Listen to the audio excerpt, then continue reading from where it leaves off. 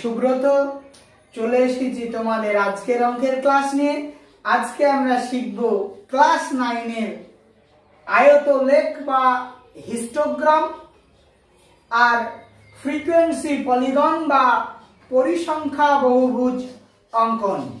তো আমাদের টপিক হচ্ছে আয়ত লেখ বা হিস্টোগ্রাম বা পরিসংখ্যা বহুভুজ বা পলিগন অঙ্কন যেটি তোমাদের ফাইনাল পরীক্ষায় অবশ্যই একটি আসবে, এবং এর জন্য তিন মার্কস বরাদ্দ থাকে। তোমরা দেখে নাও কীভাবে আমরা অঙ্কন করব। এই আমরা তোমাদের যে পরিষদের বই, তার কোষে দেখি এগারো দশমিক দুই, পাতা হচ্ছে একশো একাত্তর। সেখান থেকে নয়ের প্রশ্নটা তুলে নিয়ে এসেছি। এই আয়ত লেখ হচ্ছে যে পরিসংখ্যা বিভাজন ছক। তার যে অবিচ্ছিন্ন চলের লৈখিক উপস্থাপন, অবিচ্ছিন্ন চলের লৈখিক উপস্থাপন। তো এই আয়তলেখ অঙ্কন করতে গেলে কতগুলি বিষয় তোমাদের মাথায় রাখতে হবে। সেই বিষয়গুলি তোমরা একটু খেয়াল করে নাও বা লিখে নাও খাতায়। প্রথম যে বিষয়, এক নম্বরে লিখবে, আয়তলেখ অঙ্কন করতে গেলে কি কি খেয়াল রাখতে হবে? যে শ্রেণীটি দেওয়া আছে, সেটি যেন অবিচ্ছিন্ন শ্রেণি হয়। প্রথম ক্লাসে শিখেছি কোনটি বিচ্ছিন্ন শ্রেণি, কোনটি অবিচ্ছিন্ন শ্রেণি। যদি অসুবিধা হয়, ভিডিও ডেসক্রিপশন বক্সে দেওয়া আছে প্রথম ভিডিও লিঙ্ক একবার দেখে নাও। প্রথমেই দেখতে হবে শ্রেণীটি অবিচ্ছিন্ন রয়েছে কিনা। যদি না থাকে, তুমি তাকে অবিচ্ছিন্ন শ্রেণীতে পরিণত করবে। আয়তলেখ বা হিস্টোগ্রাম, যে আমরা পরিসংখ্যা বিভাজন ছক একটা তোমাকে তৈরি করতে হবে। পরিসংখ্যা বিভাজন ছক, তাহলে দ্বিতীয় ধাপ কি? আয়তলেখ অঙ্কনের দ্বিতীয় ধাপ হচ্ছে পরিসংখ্যা বিভাজন ছক বানাতে হবে। কীভাবে বানাতে হবে? দেখে নাও, আমরা একটা উদাহরণ দিয়ে দেখিয়েছি। পরিসংখ্যা বিভাজন ছক দেখো শ্রেণীটি দেওয়া আছে, পরপর লিখেছি। পরিসংখ্যা যেগুলি দেওয়া আছে, পরপর লিখে দিচ্ছি। নেক্সট শ্রেণি দৈর্ঘ্য বার করতে হবে তোমাকে। শ্রেণি দৈর্ঘ্য বার করতে হবে। শ্রেণি দৈর্ঘ্য বার করা তোমরা শিখেছ। আমি দ্বিতীয় ভিডিওতে, প্রথম ভিডিওতেই শ্রেণি দৈর্ঘ্য বার করা শিখেছি। যদি তোমাদের অসুবিধা থাকে তোমরা এই ভিডিওটিকে পজ করে প্রথম ভিডিওটি আর একবার দেখে নাও, কীভাবে শ্রেণি দৈর্ঘ্য বার করেছি। ঊর্ধ্ব সীমানা মাইনাস নিম্ন সীমানা এখানে ঊর্ধ্ব সীমানা একত্রিশ মাইনাস নিম্ন সীমানা পঁচিশ, অর্থাৎ ছয়। একইভাবে সব শ্রেণি দৈর্ঘ্য তোমরা নির্ণয় করবে।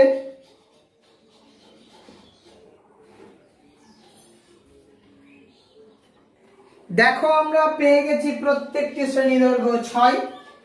তবে তোমাদের মনে প্রশ্ন আসতে পারে শ্রেণি দৈর্ঘ্য কি সবসময় সমান হবে? তবেই কি আয়তলেখ অঙ্কন করতে আমরা পারব? যদি শ্রেণি দৈর্ঘ্য কম বেশি হয়, তবে কি আমরা আয়তলেখ অঙ্কন করতে পারব না? এই প্রশ্নটা স্বাভাবিক তোমাদের মনে।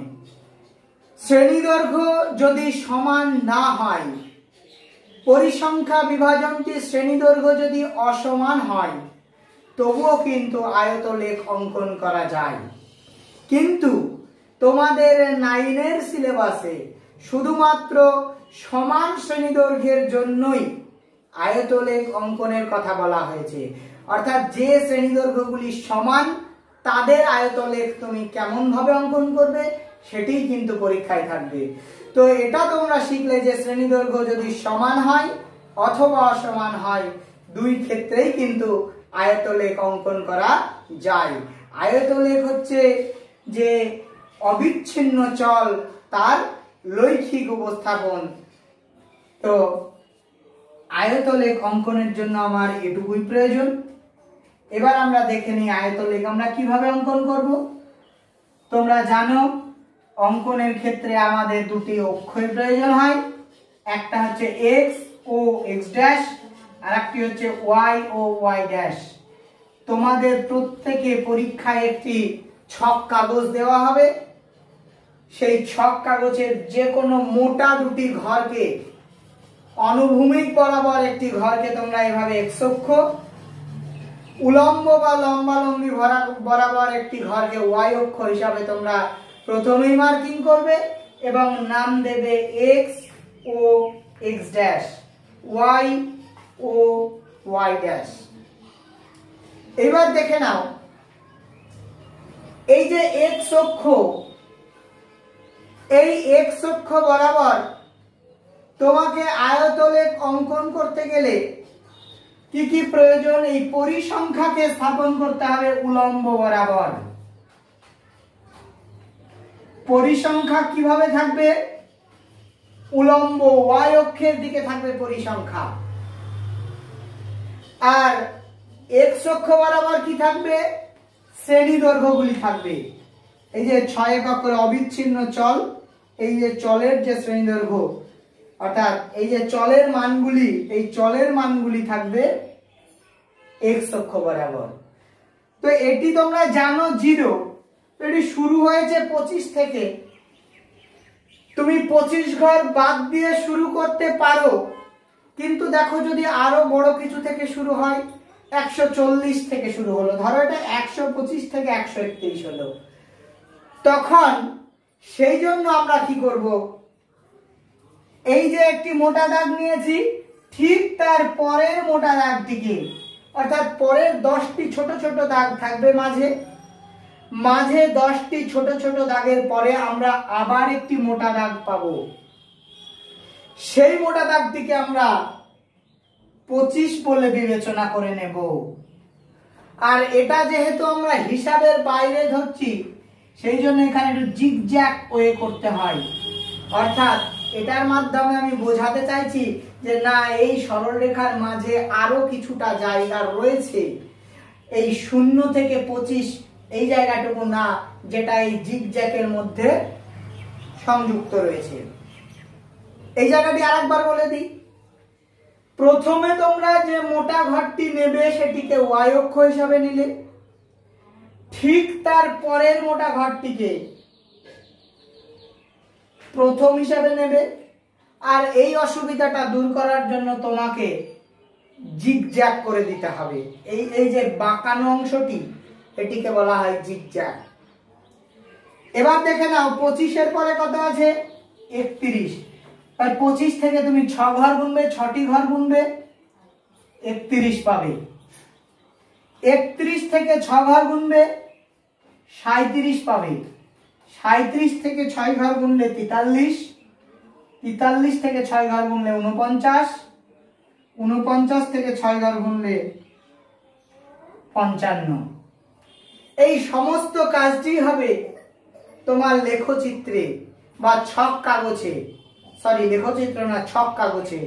আর এই পরিসংখ্যা বিভাজন ছকটি হবে তোমার পরীক্ষার মূল খাতায়।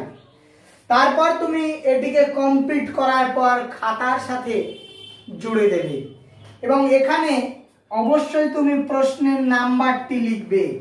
খাতায় যেমন একবার লিখেছ গ্রাফ পেপার বা ছক কাগজেও তুমি প্রশ্নের নাম্বারটি অবশ্যই লিখবে। কারণ তোমাদের দুটি গ্রাফ পেপার দেওয়া হবে এবং দুটি প্রশ্ন আসবে। একটি হচ্ছে পরিসংখ্যা বহুভুজ, বা আয়তলেখ অঙ্কন। আরেকটি হচ্ছে লেখচিত্রের সাহায্যে সমাধান। ফলে তুমি যদি মেনশন না করে দাও এটি কোন প্রশ্ন, সেক্ষেত্রে তোমার খাতা মূল্যায়নে একটি অসুবিধার সৃষ্টি হবে। এবার দেখে নাও, আমরা পরিসংখ্যাটাকে কোন বরাবর দিয়েছি? ওয়াই বরাবর। তো পঁচিশে পরিসংখ্যা কত? এখানে স্বাভাবিকভাবে এটিও তুমি একটি মোটা ঘর বরাবর নিয়েছো। সুতরাং দশ আছে পরিসংখ্যা। এক, দুই, তিন করে তুমি পরপর এই পঁচিশ বরাবর দশ পর্যন্ত গুনতে গুনতে চলে যাবে। পঁচিশেও দশ গুনবে, একত্রিশেও দশ গুনবে। এরকম একটি থামের মতো ছবি পাবে। সেই কারণে এটি হচ্ছে তোমার আয়তলেখ। একইভাবে প্রত্যেকটি এবার দেখো সাঁত্রিশ তার পরিসংখ্যা হচ্ছে তেরো। এটি তো একটা মোটা দাগে নেওয়া আছে।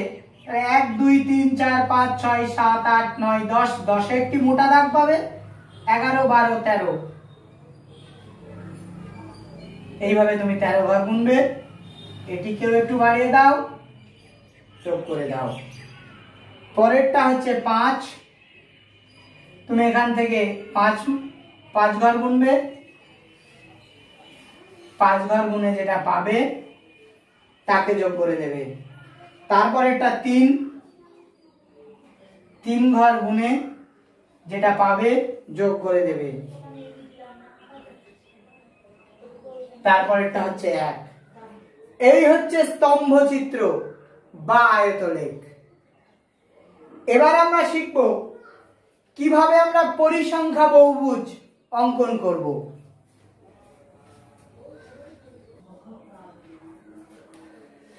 পরিসংখ্যা বহুভুজটি কি?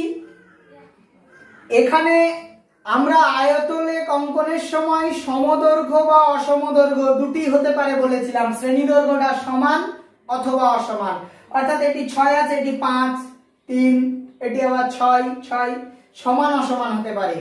কিন্তু পরিসংখ্যা বহুভুজ হচ্ছে সমান দৈর্ঘ্য বিশিষ্ট, যে অবিচ্ছিন্ন চলের লৈখিক প্রকাশ। অর্থাৎ আয়তলেখের সাথে পরিসংখ্যা বহুভুজ দুটি লৈখিক প্রকাশ, কিন্তু মূলত পার্থক্য হচ্ছে এটাই।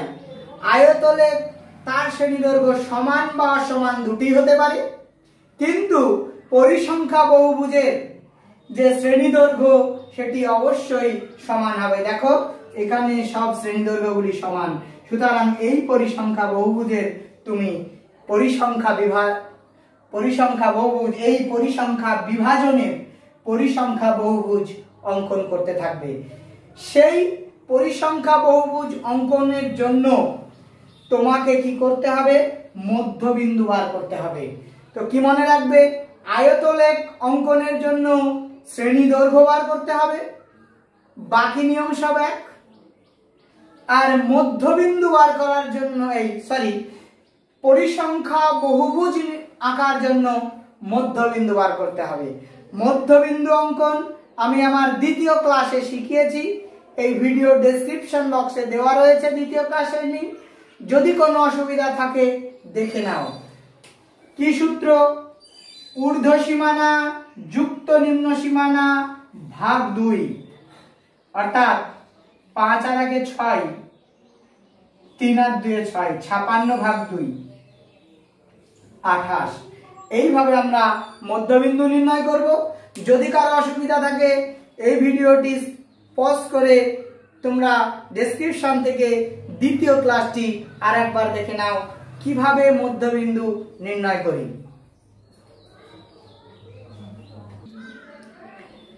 এছাড়াও তোমরা দেখো, মধ্যবিন্দু নির্ণয়ের একটু সুবিধা আছে এখানে। যেহেতু প্রতিটি শ্রেণি দৈর্ঘ্য সমান, প্রথম শ্রেণি দৈর্ঘ্যটি তুমি প্রথম মধ্যবিন্দু বার করতে পারলেই প্রত্যেকটি মধ্যবিন্দুর মধ্যে শ্রেণি দৈর্ঘ্য যেটা, তত করে দূরত্ব ফারাক, অর্থাৎ ছয় করে বাড়িয়ে দাও। এখানে হচ্ছে শ্রেণি দৈর্ঘ্য ছয়। এটি শুধুমাত্র সমান শ্রেণি দৈর্ঘ্যের ক্ষেত্রেই প্রযোজ্য। আমি এখন যে কথাটি বলছি শুধুমাত্র সমান শ্রেণি দৈর্ঘ্যের ক্ষেত্রেই প্রযোজ্য। তো প্রথমটি যদি আঠাশ হয়, আঠাশ আর ছয় চৌত্রিশ চৌত্রিশ আর ছয় চল্লিশ চল্লিশ আর ছয় ছিচল্লিশ ছিচল্লিশ আর ছয়ে বাহান্ন। দেখো, প্রতিটি শ্রেণি দৈর্ঘ্য সমান বলে আমরা ছয় ছয় করে বাড়িয়ে দিয়েছি।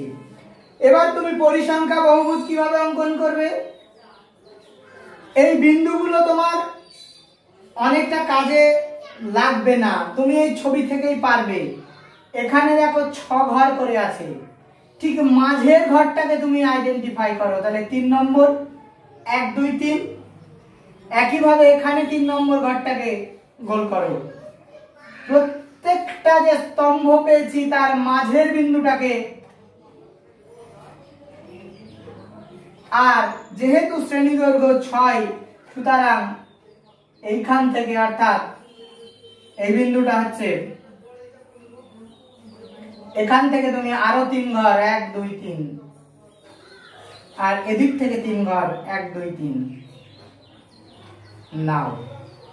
নিয়ে যোগ করলেই পেয়ে যাবে পরিসংখ্যা এই নিচের অংশটি তোমরা হয়তো অনেকে বুঝতে পারোনি। আমি এটা বলতে চেয়েছি এই যে মাঝের যে অংশটি, এই যে থামের যে মাথাটি রয়েছে, সেটি যদি আট ঘর হয়, তবে তুমি চার ঘরের মাথায় বিন্দু নেবে। এখানে এটি ছ ঘর আছে, তোমরা গুনে দেখবে। সুতরাং তুমি তিন ঘরে নাও, প্রত্যেকটি তিন ঘর করে নাও। প্রতিটা তিন ঘর করে নাও। আর এই থামটি যেখানে শেষ হয়েছে, তার শুরুর আগে তিন ঘর, আর শেষের পরে তিন ঘর বাড়িয়ে দাও। যোগ করে দাও টোটালটাকে। যে লেখচিত্রটি পাবে, সেটি হচ্ছে পরিসংখ্যা বহুভুজ। আমি নিয়মটা আর একবার বলে দিই। তোমাকে দেখতে হবে শ্রেণি দৈর্ঘ্যটি অবিচ্ছিন্ন কিনা। তার পরিসংখ্যা বিভাজন ছক একটি তৈরি করতে হবে।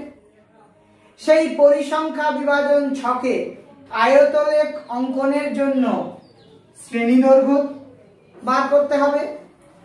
আর পরিসংখ্যা বহুভুজ অঙ্কনের জন্য মধ্যবিন্দু বার করতে হবে। তারপর তোমাকে এক্স ও ওয়াই অক্ষ স্থির করতে হবে। ওয়াই অক্ষ বরাবর পরিসংখ্যা থাকে। আর এটি হচ্ছে বয়স। পরিসংখ্যা লেখা ঠিক না। শিক্ষক শিক্ষিকার সংখ্যা।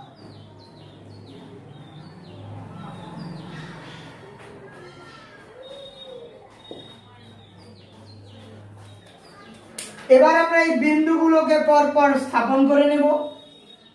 তারপর পরিসংখ্যা অনুযায়ী আমরা এই যে স্তম্ভ চিত্র, থামের মতো যে ছবিগুলি তৈরি হয়েছে, সেগুলিকে আমরা তৈরি করব। আর পরিসংখ্যা বিভাগ বহুভুজ অঙ্কনের জন্য প্রতিটি থামের মাথার যে মধ্যবিন্দু, থামের মাথার মধ্যবিন্দু, সেগুলিকে বার করব এইভাবে গোল গোল দিয়ে। এবং থাম শুরুর আগে ও থাম শুরুর পরে একইভাবে এই মধ্যবিন্দু যত ঘরে পড়েছে কারণ তিন ঘর পর মধ্যবিন্দু পড়েছে। তাই এদিকে তিন ঘর, এদিকে তিন ঘর। মধ্যবিন্দু যদি পাঁচ ঘর পরে আসতো তবে এদিকে পাঁচ ঘর, ওদিকে পাঁচ ঘর। নিয়ে আমরা টোটাল বিষয়টিকে যোগ করলে পেয়ে যাব পরিসংখ্যা বহুভুজ।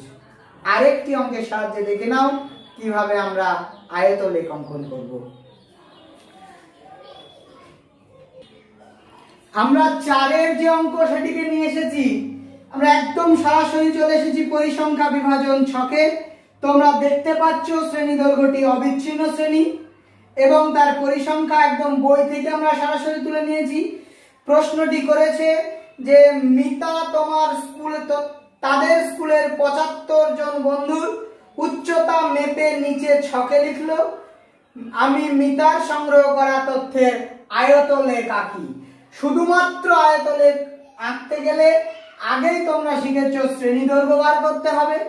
তবে এক্ষেত্রে কিন্তু আর মধ্যবিন্দুটি লেখার দরকার নেই।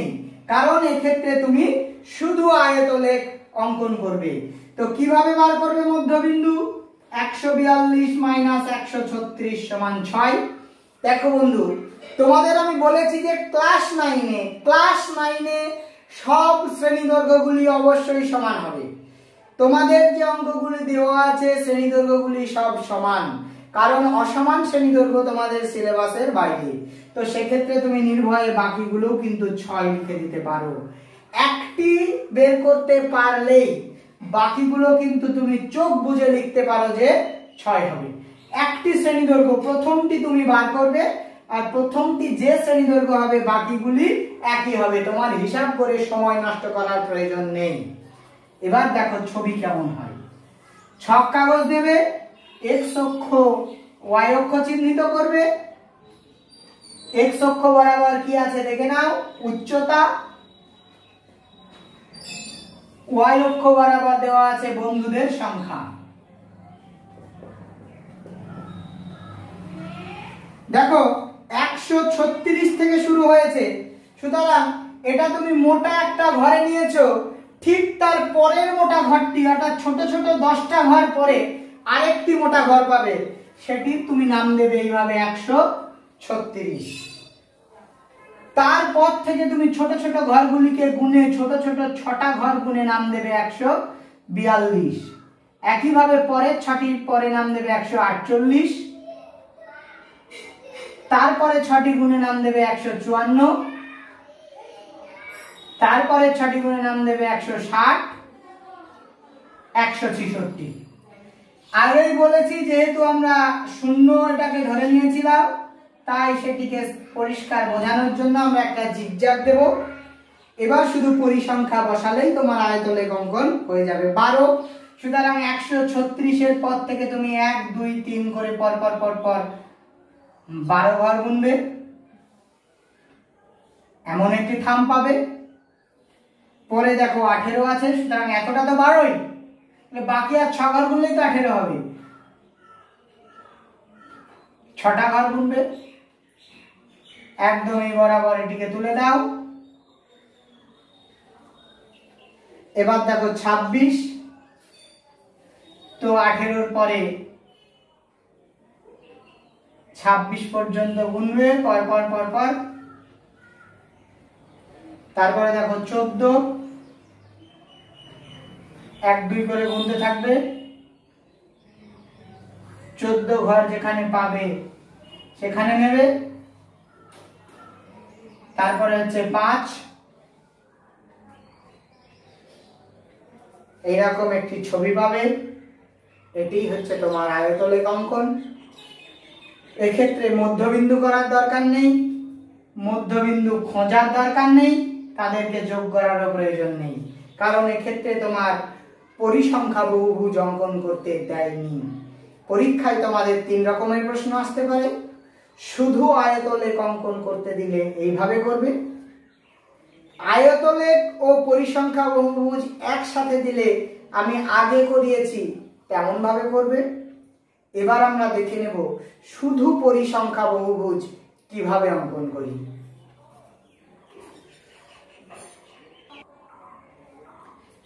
এগারোর যে অঙ্কটি আমরা নিয়ে এসেছি, শ্রেণি দেওয়া আছে, পরিসংখ্যা দেওয়া আছে, আমরা বই থেকে এগারোর অঙ্কটি তুলে নিয়েছি।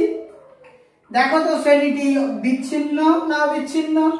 তোমরা নিশ্চয় বুঝতে পারছ এটি বিচ্ছিন্ন শ্রেণি।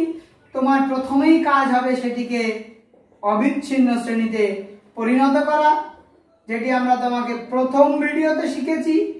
যদি তোমার অসুবিধা হয়, সেক্ষেত্রে তুমি আর একবার ভিডিওটি দেখে নাও, কীভাবে তুমি অবিচ্ছিন্ন শ্রেণীতে পরিণত করবে। এই ভিডিওরই ডেসক্রিপশন বক্সে দেওয়া আছে প্রথম ভিডিওর লিঙ্ক এবার দেখো, পরিসংখ্যা বহুভুজ অঙ্কন করতে দিয়েছে। সুতরাং, পরিসংখ্যা বহুভুজ অঙ্কন করা মানে তোমাকে মধ্যবিন্দু বার করতে হবে। শ্রেণি দৈর্ঘ্য বার করার দরকার নেই। তো দেখে নাও মধ্যবিন্দু কীভাবে বার করবে? ঊর্ধ্ব সীমানা প্লাস নিম্ন সীমানা, তার দশ দশমিক পাঁচ প্লাস দশমিক পাঁচ, ভাগ টু তার দশ দশমিক পাঁচের সাথে দশমিক পাঁচ যোগ করলে হয় এগারো। এগারোকে যদি আমরা দুই দিয়ে ভাগ করি, পাবো আমরা পাঁচ দশমিক পাঁচ। সুতরাং এটি হবে পাঁচ দশমিক পাঁচ। এবং প্রতিটা শ্রেণি দৈর্ঘ্য দেখো, বাইরে তুমি বার করে নিতে পারো, দশ করে। সুতরাং প্রতিটা শ্রেণি দৈর্ঘ্য দশ দশ করে বেশি হবে। প্রথমটি যদি পাঁচ হয়, পরেরটি হবে পনেরো দশমিক পাঁচ, তারপরেরটি হবে পঁচিশ দশমিক পাঁচ, তারপরেরটি হবে পঁয়ত্রিশ দশমিক পাঁচ, এবং তারপরেরটি হবে পঁয়তাল্লিশ দশমিক পাঁচ। পরিসংখ্যা বহুভুজ ছক আমাদের সম্পূর্ণ হয়ে গেছে। এবার আমরা সেটিকে লেখচিত্রে সরি আমরা ছক কাগজে অঙ্কন করব। পরিসংখ্যা বহুভুজ।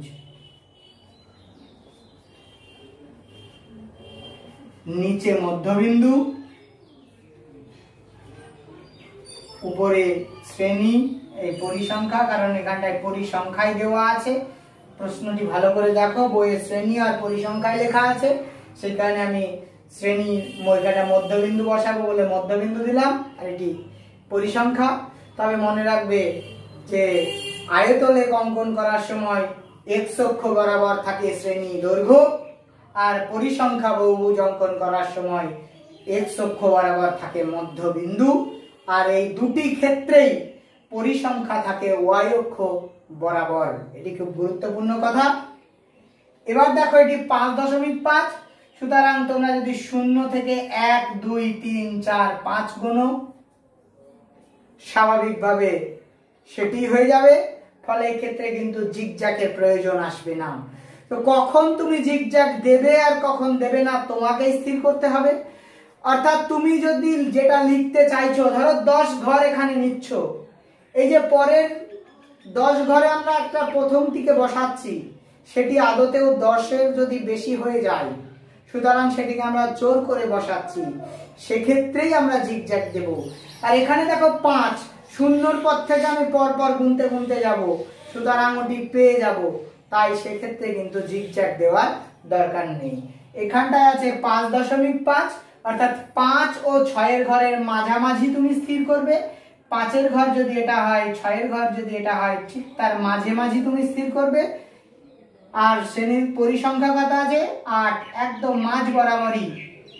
এই পাঁচের দাগ বা ছয়ের দাগে নয়। আবার বলছি, পাঁচের দাগ, এটি তোমার পাঁচের দাগ এটি তোমার ছয়ের ঘরের দাগ। তুমি কিন্তু পাঁচের দাগেও নেবে না, ছয়ের দাগেও নেবে না। পাঁচ দশমিক পাঁচ মানে দুজনের মাঝামাঝি একটা জায়গা তুমি স্থির করে নেবে। এটি হলো আট, বিন্দুটি বসাবে। যেহেতু শ্রেণি দৈর্ঘ্য তুমি দশ পেয়েছ, এবার এখান থেকে আস্তে আস্তে দশ ঘর দশ ঘর করে তুমি এগিয়ে যাবে।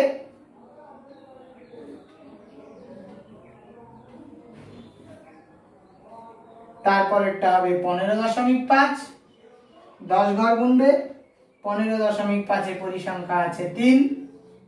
উপর দিকে তিন ঘর গুনবে, তারপরেরটা আছে পঁচিশ দশমিক পাঁচ। সেখানে পরিসংখ্যা আছে ছয়। ছ ঘর গুনবে, তারপরেরটা আছে পঁয়ত্রিশ দশমিক পাঁচ। সেখানে পরিসংখ্যা বারো, উপর দিকে বারো ঘর গুনবে। তারপরেরটা আছে পঁয়তাল্লিশ দশমিক পাঁচ। সেখানে আছে চার। চার ঘর গুনবে।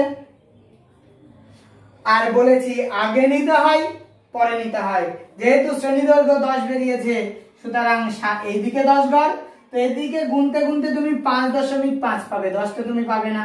সেই কারণে আস্তে আস্তে এদিকে তোমাকে চলে আসতে হবে দরকার হলে। দশ নিতে হলে। আর একইভাবে এটি পঞ্চান্ন দশমিক পাঁচ পর্যন্ত যাবে। এবার তুমি এখান থেকে যোগ শুরু করবে।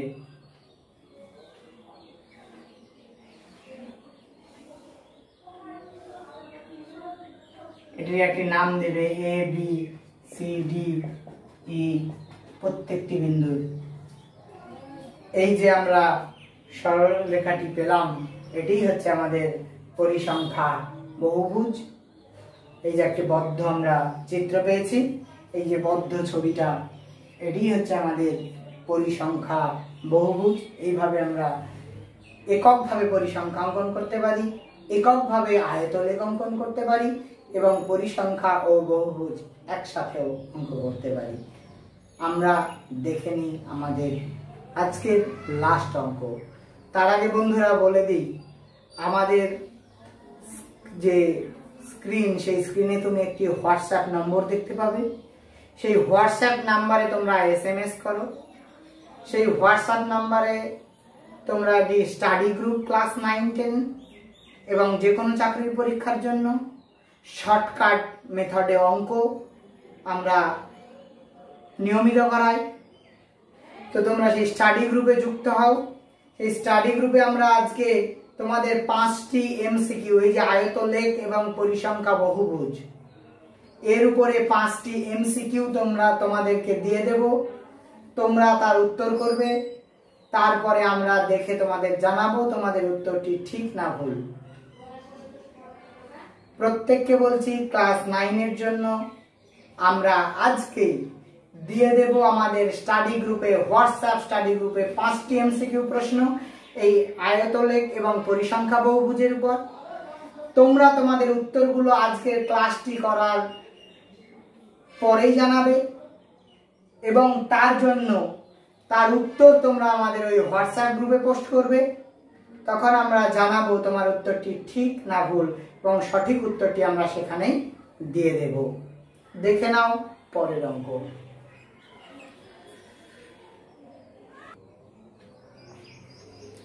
এখানে দেখো বন্ধুরা, চাঁদার পরিমাণ দেওয়া আছে, শ্রেণি দেওয়া নেই। এই সদস্য সংখ্যাটি দেওয়া আছে, এটি আসলে পরিসংখ্যা।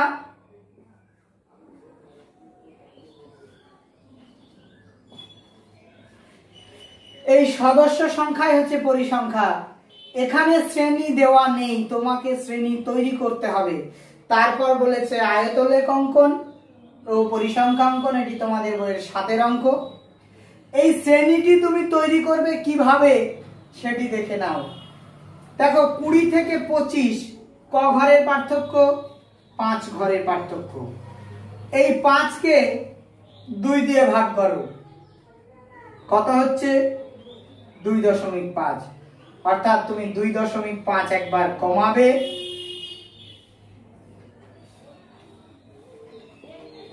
আর একবার বাড়াবে। বোঝা গেল? পার্থক্য দেখবে, এটা থেকে এটা কতটা পার্থক্য? পঁচিশ থেকে কুড়ি, ক ঘর? একুশ, বাইশ, তেইশ, চব্বিশ, পঁচিশ, পাঁচ ঘর। সেই পাঁচকে দুভাগে ভাগ করে দেবে, একটু কিছুটা সামনে, কিছুটা পিছনে, অর্ধেকটা সামনে, অর্ধেকটা পিছনে। তাহলে পাঁচকে দুই ভাগ করলে কত হয়? আড়াই, অর্থাৎ দুই দশমিক পাঁচ, দুই দশমিক পাঁচ। তোমরা জানো সামনে কমে আর পরে বাড়ে। দেখো কুড়ি থেকে দুই দশমিক পাঁচ বেড়ে হলো বাইশ দশমিক পাঁচ আর কুড়ি থেকে দুই দশমিক পাঁচ কমে হলো সতেরো দশমিক পাঁচ। একইভাবে এটা কমে হবে বাইশ দশমিক পাঁচ আর বেড়ে হবে সাতাশ দশমিক পাঁচ।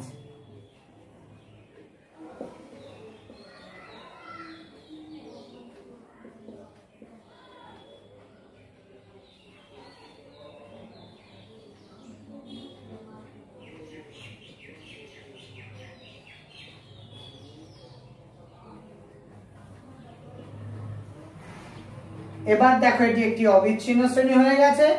আয়তলেখ এবং পরিসংখ্যা বহুভুজ অঙ্কনের জন্য তুমি এক্স ওয়াই অক্ষ স্থির করবে। এই বরাবর লিখবে চাঁদার পরিমাণ। এই বরাবর লিখবে সদস্য সংখ্যা। কি কি পয়েন্ট করবে? এগুলি পয়েন্ট করার দরকার নেই। সতেরো দশমিক পাঁচ। অর্থাৎ প্রথম যে ঘরটি রয়েছে, তার পরের মোটা দাগটি দশ ঘরে তুমি লিখবে সতেরো দশমিক পাঁচ। যে যেহেতু সতেরো দশের থেকে বড় লিখে ফেলেছো, তাই এখানে তুমি জিগজাগ দেবে। এবার যেহেতু প্রত্যেকটা ঘরের পার্থক্য কত? পাঁচ। পাঁচকেই তোমরা ভাগ করেছি। তাই প্রতিটা ঘরের পার্থক্য হচ্ছে পাঁচ। সুতরাং শ্রেণি দৈর্ঘ্য লিখবে এখানটায়। যদিও আমার জায়গা নেই। শ্রেণি দৈর্ঘ্য পাঁচ পাঁচ পাঁচ। পাঁচ পাঁচ পাঁচ, সব পাঁচ হবে। এবং পরিসংখ্যা আঁকতে দিয়েছে মানে মধ্যবিন্দু বার করতে হবে। দেখে নাও, এদের মধ্যবিন্দু হবে, যেটি হবে সেটিকে তোমরা লিখবে। এবং টোটাল যে বিষয়টি সতেরোর পরে পরপর এখানটায় প্লটিং করবে। স্তম্ভগুলি আঁকবে। স্তম্ভের প্রতিটা মধ্যবিন্দু দিয়ে তোমরা বিন্দু নেবে এবং যুক্ত করলে পেয়ে যাবে। পরিসংখ্যা বহুভুজ আমাদের পরে আমরা শিখব ক্লাস নাইনের কিছু উপপাদ্য, কিছু থিওরেম। তার জন্য আমাদের নেক্সট ক্লাস দেখতে থাকো। আর আমাদের ক্লাসগুলি তোমাদের যদি ভালো লাগে, কমেন্ট করে জানাও, লাইক করো। যারা আমাদের ক্লাসে নতুন, তারা আমাদের চ্যানেলটিকে সাবস্ক্রাইব করো। অল নোটিফিকেশান পাশের বেল আইকনে গিয়ে অন করে রাখো, যেন আমাদের ক্লাসের নোটিফিকেশান তোমাদের কাছে পৌঁছে যায়। আর আমাদের সাথে নিয়মিত পড়াশোনার সাথে জড়িয়ে থাকার জন্য আমাদের হোয়াটসঅ্যাপ গ্রুপ যার নাম্বার নিচে স্ক্রিনে দেওয়া আছে, তোমরা জয়েন করো। ভালো থাকো, সুস্থ থাকো।